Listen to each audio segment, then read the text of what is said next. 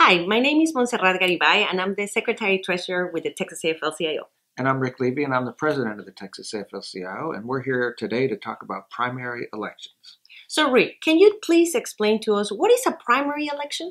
A primary election is where each team, the Democrats and the Republicans, are going to select who they think is the best candidate to run on their ticket in November. So that's what happens during the primary. Got it. So, when is the primary election here in Texas? It's starting right now. In fact, it started uh, two days ago on February 18th and runs early voting runs through February 28th, and then the actual election day is March 3rd. So people have a lot of opportunities to cast their vote, but they got to do it. That's right. So, does the candidate with the most votes in the primary election get to run in November? Not necessarily. They have to get a majority of the votes. So, if there's more than two candidates running and nobody gets more than 50%, then we'll have a runoff election, which will be May 2nd um, uh, between the top two candidates.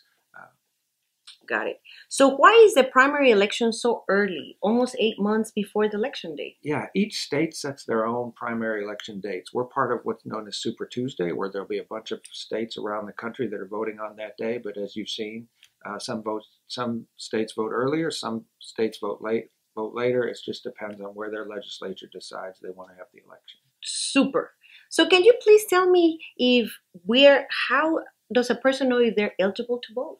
So you, in some states, you have to state whether you're a Republican or a Democrat and then vote in that primary. In Texas, we have open primaries, so you can vote in whatever election uh, primary you want to.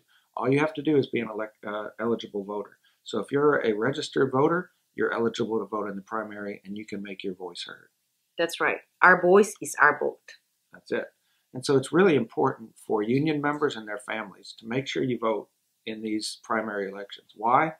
Because when it comes to November, you want to make sure you have the best candidates that most closely reflect your values um, and that can win in November.